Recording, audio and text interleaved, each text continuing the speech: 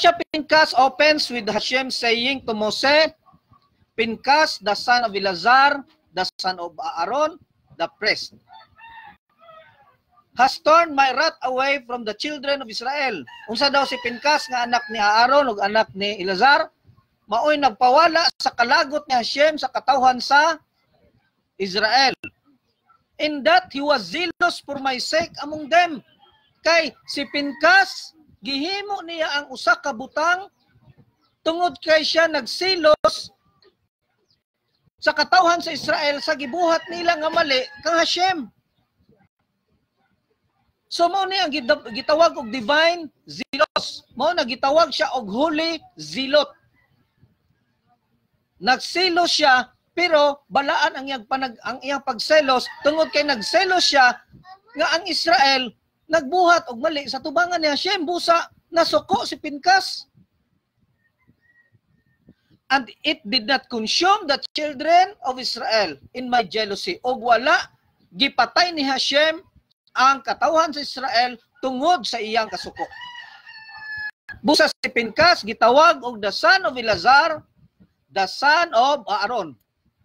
Okay, makita nato atong niaging parsya nga atong last parsya nato atong niaging Sabado pa nga ang katapusang parsya nato diin didto ang Hashem naghatag og tunglo sa Israel.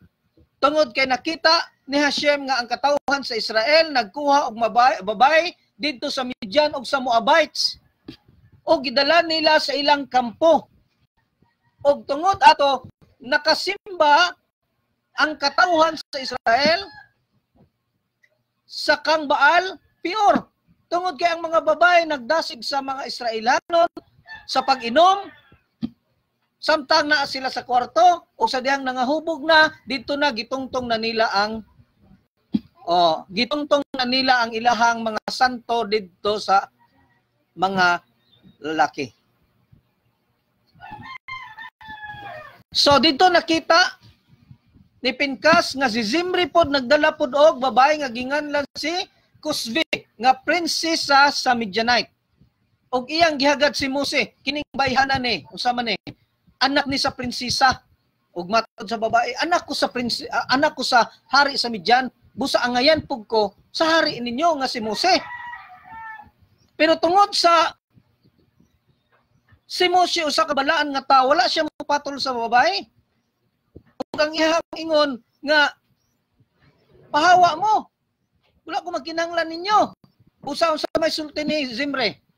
Ah mo ingon kag pahawa tungod kay ang babae nga si Kusbing nga anak sa hari sa Midian usa man ka Midianon but ba pasabot nga dili ka mo patol aning bayhana kay usa ka Midianon pero wala ka magunahon na nga ngimong asawa nga si Chipura usa pud ka Midianite?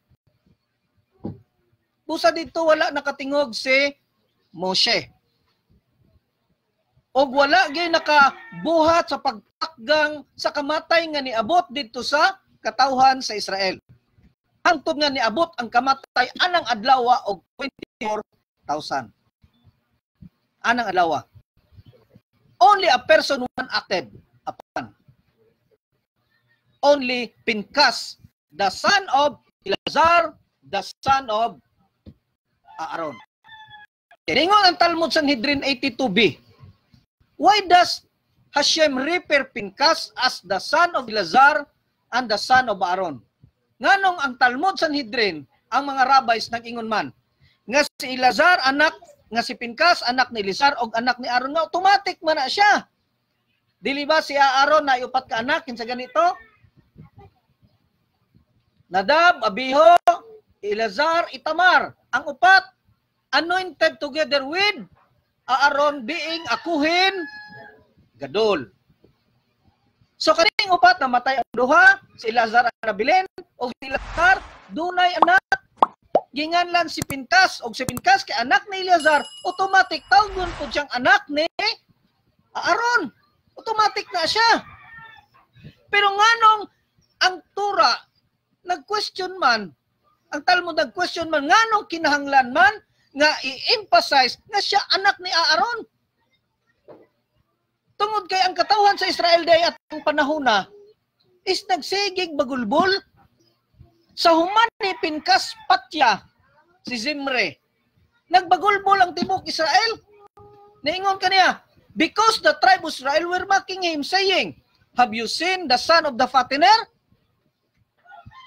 Nakita ba ninyo ang anak sa patiner? Kisa man ang patiner ang iyang gimin, anak. Nga si Aaron, kuhin gadol man, dili man patiner. Patiner meaning, katong nagabuhi. O mga mananap para patambukon. Para patambukon para unsaon. Para i-halad ang uban para kaunon. O ang patiner nga giingon din eh, is ang is naka-repair ni siya sa side sa iyang inhan. Di ba si Ilasar, uh, Ilasar nga nakapinkas. So si Pinkas, anak ni Ilazar, nga anak ni Aaron, nakalain na siya sa paternal side. Pero ang gibagulbol sa mga Israelitas atong panahon na wala sa father side na sa mother side tungod kay ang inahanay ni Pinkas is igsoon pod ni Chi Pura. Anak pod ni Jitro. So mautong giingon sa mga Israelanon nga nakita ba ninyo ang anak sa patiner? Therefore, ang gitudlo nga patiner is dili si Aaron, kung dili si si Jitro. Nga noon sa maday ang kuan ni Jitro day. Nga nung anong ingon ana man ang ilang impression kang Jitro. Unsa day si unsa day si Jitro? Si Jitro usa ka pari sa Midian. Di ba? Usa ka pinakataas nga pari sa Midian og si Jitro mo tighalad sa halad alang sa ilang uh, ilang makagagahom nga si Baal pior. Og ang paagi sa paghalad ni Jitro ngadto sa ilang makagagahom nga si Baal pior is very harsh. Kanang grabe kay siya mupatag mananap ba kay ang Israel basta muhalad sila ang paagi sa ilang paghalad is kung mahimo dili makatilaw sakit. Kas ahon lang unya tinahod radahon kas adito sa kanang nerve nga ang sakit dili mo resto sa utok. Para ang mananap dili mag antos. Pero kan jitro dili uh, ihaw yun. Tsabaw ginang mananap sa kasakit. Mo nang gitawag siya og hars mupatay o si Pinkas gitawag og anak sa patiner. Tungod kay nakita sa katawhan sa Israel giunsa niya pagpatay si Zimri og si Kusbi nga anak sa prince o anak sa hari sa Midian. Nakita nila harsh kayo nga naman gituhog man og spear. Gituhog man og spear unya dili gituhog na tuwan but two. Giisa lang silang tuhog. So nakita sa mga Israelitas nga grabe mo patay ba si Pinkas niliwat sa iyang amahan nga mao si Jitro Mao na nga ang Torah emphasizes that Pinkas, the son of Elazar, the son of Aaron, para na sa mga Israelanon nga si Pinkas wala muliwat kang Jitro. Kundi dito siya niliwat kang Aaron because Pinkas tungod sa iyang gabuhat naghatag siya kalinaw between Israel and Hashem. And Aaron is one of the greatest peacemaker. Busa gitawag sa tura si Pinkas na anak ni Elazar o anak ni Aaron. Gi-emphasize gyud na sa tura para makita sa katawhan sa Israel nga si Pinkas wala muliwat kan Jitro kundi liwat siya dito kang Aaron. Si Lubabot Chiribi nagsulti. Kaya naingon siya. So when Pinkas lo Zimri, daghan na nagsulti Look at this holy zealot. Unsay tawag nila kan Pinkas? Unsay tawag ni Ribi? Unsay tawag sa Israelanon? Tan-awa kining balaan nga siluso. Holy zealot. Zealot meaning sa atuan na siya diri nationalista ba?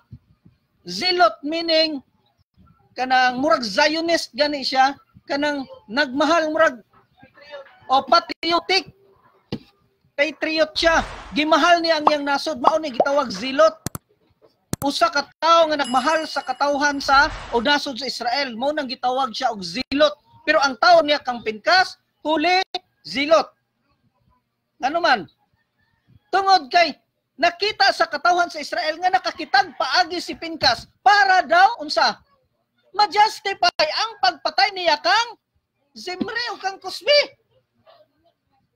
Ah, nangita lang nagkuhan, gigamit niya ang makagahom para ma-justify ang iyahang pagpatay kang Zimri. Munang gitawag siya og huli, zilot. Another pasangin na po sa Israel kang Pinkas. Ah, nakakitag paagi si ang katawan sa Israel, nakakitag paagi si Pinkas. He asked, he asked, siya nagbuhat as if motivated by the desire to avenge the honor of Hashem. Murag iyang gibuhat mga kanang para kunuhay ma mabawi ang honor ni Hashem nga gibuling-bulingan sa katawan sa Israel.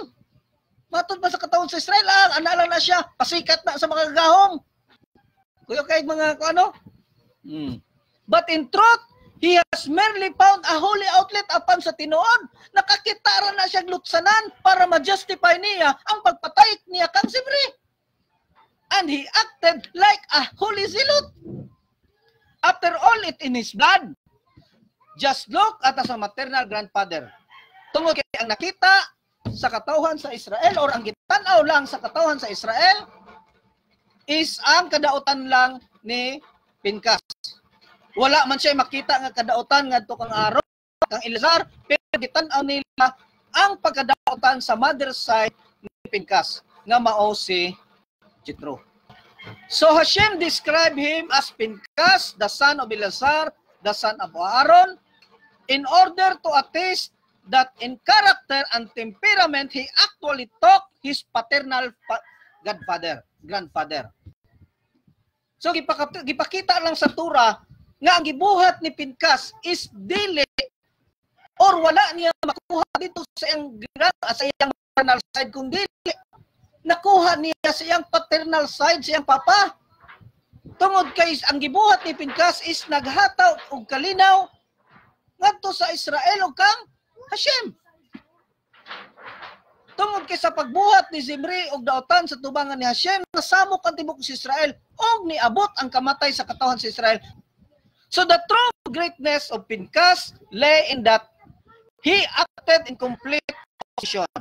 So makita nato nga ang gibuhat ni Pinkas is actually opposite sa gibuhat sa kaliwat sa iyang maternal side transcending his inborn, inborn instinct to bring peace between Hashem and Israel.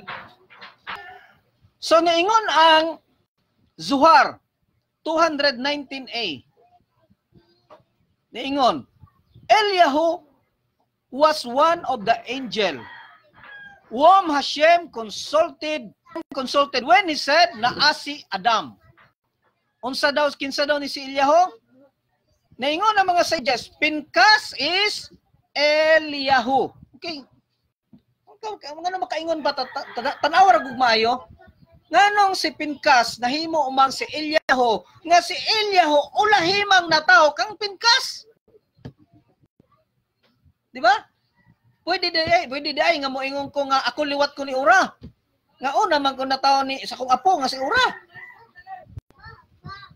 Sa kaso po ni Pinkas, depression nila katuig is 500 years. So naunag kataw si Pinkas pag uh, paglabay sa 500 years, usa pa ni abot si Eliyahu. Pero ang tura nag-ingon ang mga sages ni Angon, Pinkas Z Eliyahu. Pinkas is Eliyahu. Di ba baliktad? Dapat moingon siya ang tura Eliyahu is Pinkas. Mauna ang tama. Nga naman, Eliyahu is ulahiman kang Pinkas. So dapat Eliyahu is Pinkas. So how can we explain this contradiction? contradiction? Pag sa mga sages that Pinkas, zi Eliyahu, in which ang dapat unta, Eliyahu is Pinkas because kay na una si Pinkas ka, Eliyahu og 500 years. Busa ingon ang Zuhar 219a, Eliyahu was one of the angel whom Hashem consulted when he said na si Adam. Unsa daw si Eliyahu? Usa sa mga anghel nga gikonsulta ni Hashem sa dihang buhaton niya ang tao. Nga naman, dito sa second day, kano sa ganin nabuhat ang angel? Dito sa second day. Og daghan siya klase nga mga angel nga gipangbuhat. Dunay kirubim, dunay arkanghel, dunay zir. Kanang zir, mauna ang klase sa mga anghel nga kaya og pariha og dagway sa tao og kaya magkinabuhi ingon nga usa ka tawo. Og ang usa ana nga nahimong tao is si Enoch nga anak ni kinsa Set. Si Enoch onya ikaduha si Eliyahu Hanabi. Sa ato pa wala pa si Pinkas na si Eliyahu kay sa second day wala pa nabuhat ang tao. Ang mga anghel gibuhat na on the second day of creation. O gumani ana ang anghel ni anhi diri sa yuta nagkatawang tao mauna si Pinkas.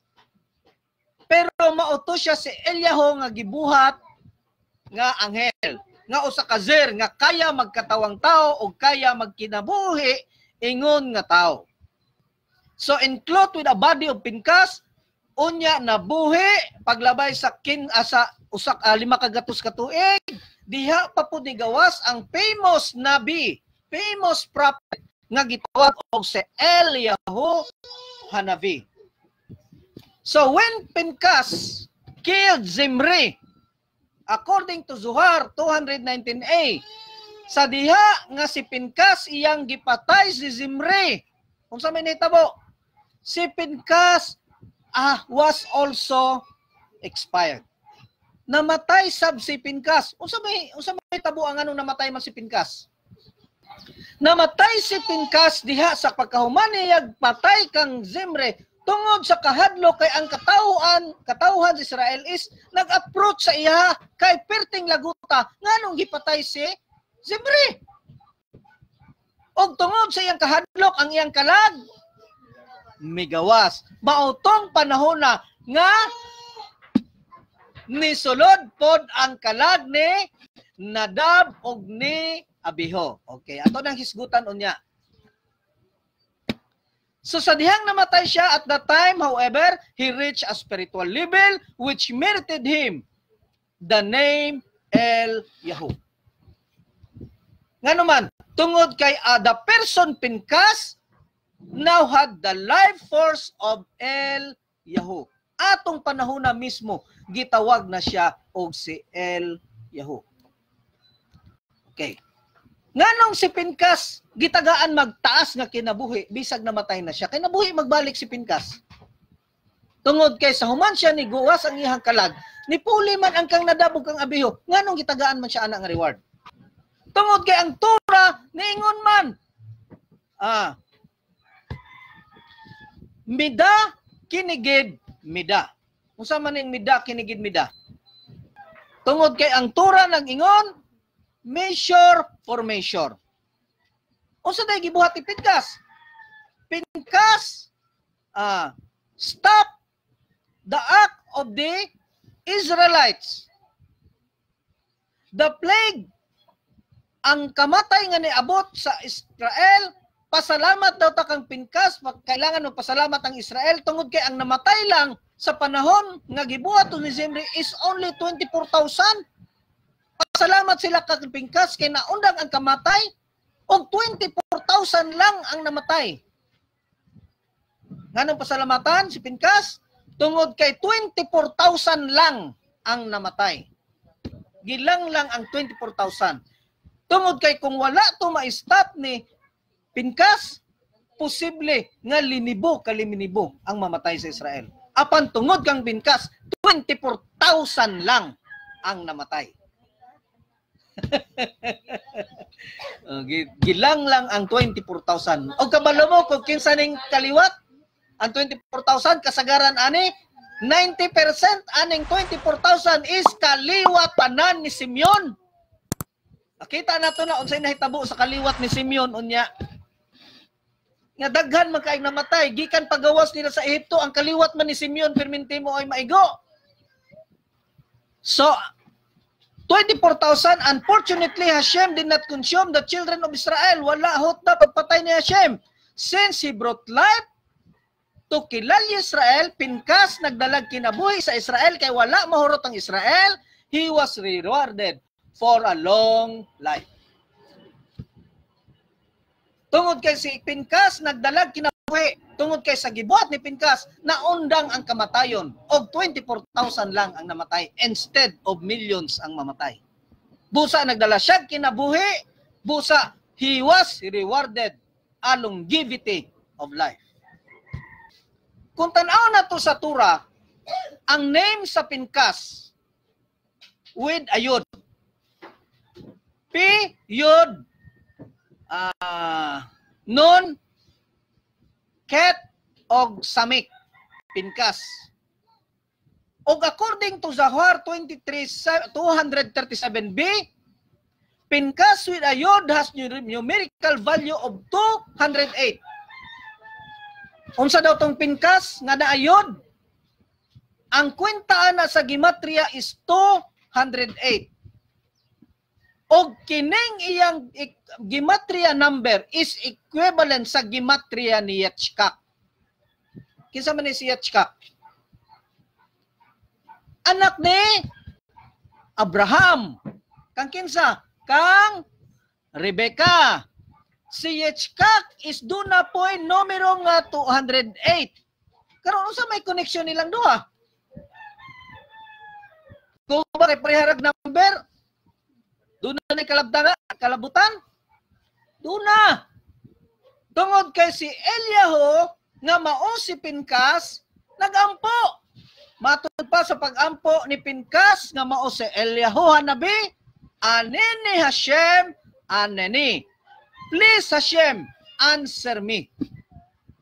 Sa panahon nga si Pinkas, si Eliyahu, naghagit sa mga 400 ka mga kaparian sa mga pagano nga pagtuo, Unsay nahitabo sa mga pagampo sa pagano nga pagtuo? Wala tubagan ni Hashem. Apan sa panahon na ni Pinkas, sa dihang gilitok niya ang iyang pagampo, ane ni Hashem, ane ni. Please, Hashem, answer me. Asa man na nato makita nga pagampo? Makita nato ni sa pagampo sa mga Hudiyo diha sa gitawag og minka prayer. Okay. Pagampo niya aning pagampuhan ni Eliyahu nabi ni gawas dayon ang kalayo didto gikan sa trono ni Hashem o gitubag niya ang pagampo ni Eliyahu Hanabi. Okay. Naingon ang Gimara Birakot 26b. The three prayers of the day, Shakaret, Minka, Maarib, were originated by the patriarch Abraham, Yitzchak, Yaakov, kang Abraham, Shakaret, kang uh, uh, kang Abraham, Shakaret, kang Yitzchak, sa kay Yitzchak, Minka, kang Yaakov, unsa man? Maarib. Respectively. And the Gemara nag-ingon says that one should be very careful with praying the Minka Muna, ang mga Jewish people is very particular with the prayer of Minka nga dili kinahanglan nga sa paglitok sa prayer of Minka. Kinahanglan nga wala gyud ka ng gamay gani nga kuan sa dila gani na usahay nga masipyat gani kang litok. Nga ang imong R mahimong L ginabantayan na nila during Minka. Tungod kay sa Minka ang pag-ampo sa mga Hudiyo is ginatubag na siya kanunay during Minka. And that was happened also during in the time of Eliyahu Hanabi. When Eliyahu pray, prayers were answered during the afternoon prayer of Minka. His name is written Ayud, indicating the parallel between him and Yetzkak. So kung si Yetzkak gitubag, o kung si Eliyahu Hanabi gitubag, si Yitzchak gitubag and that is the hint that Eliyahu and Pinkas is the same has the same soul. So hinting that Pinkas who is Eliyahu would be answered in his confrontation with the false prophet when he would recite Yishkak prayer, damin ka.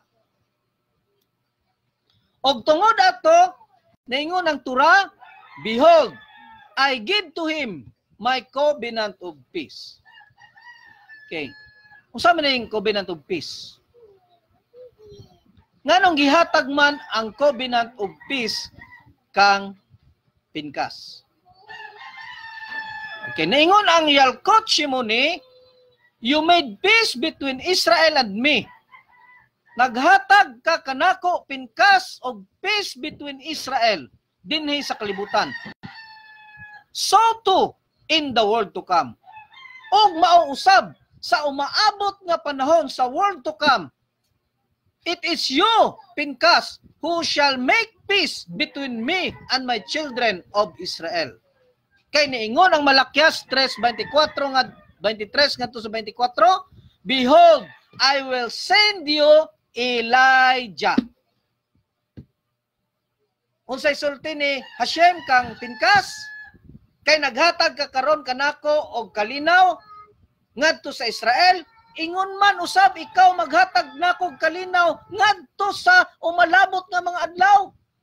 Tungod kay akong ipadala ang akong propeta nga si Elijah before the coming of the great and awesome day of Hashem. He will return the heart of the fathers, siyang ipabalik ang kasing-kasing ngadto sa iyang amahan, ngadto sa iyang anak, and the hearts of the children of their father. Therefore, 100% Pinkas is Elijah. Nagtakabaluan eh. Biblia lang atong basihan, wala gyud. Ug dili ta magsalig sa mga sulti sa mga Udiyo. Wala gyud ta. Okay. Miss Jean Nilba Ento. Okay, kamusta na Igso? Okay. Unsa man ning covenant of peace?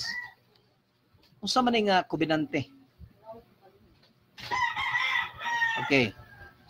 When Hashem asked Moses to go to Egypt, Bantay ha, di ba si Moshe, as ah, si Moshe naaman sa Midian.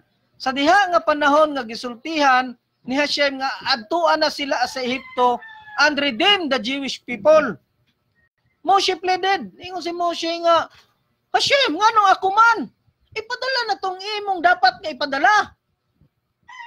Moto ang Targum, Yonatan bin Oziel nag-explain that Moshe was saying to Hashem, please send Pinkas who is destined to be Eliyahu and inform the Jewish people of the coming of Moshe. Sa ato pa, si Moshe nakabaludaan nga si Pinkas mao si Elijah. Kay maumay gitubag niya didto sa panahon nga ang makagagahom nagsulti kang Moshe, Moshe adtoa ang Israel nga naa sa Ehipto og luwasa sila gikan sa pagkaulipon sa Ehipto.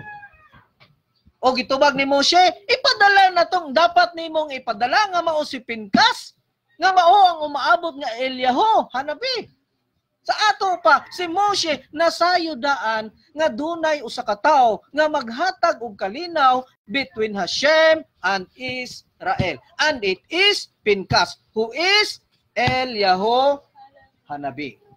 Siya rog din nato masabtan. So Pinkas will be Eliyahu who will announce the coming of Mashiach and that the Jewish people will then enter an era in which they will experience the highest degree of shalom. So, sa panahon nga naa na ang Mosyak, unsa ilang matilawan? Highest degree of shalom, highest degree of peace.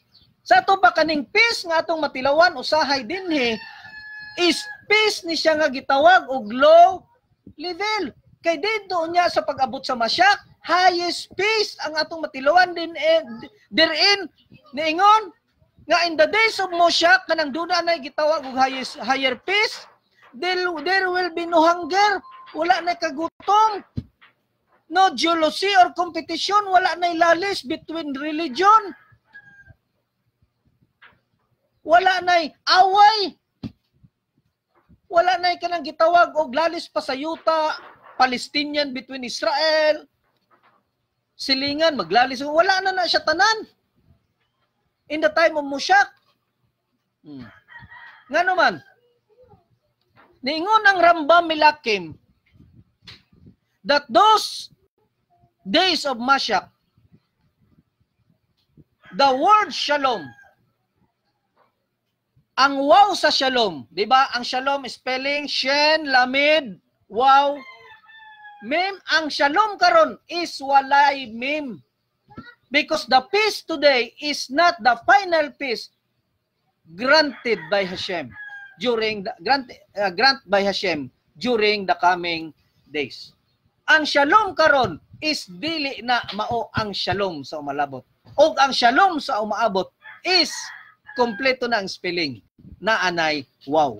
Because the shalom in the in the Mashiach time is in the higher degree. Oh, say shalom.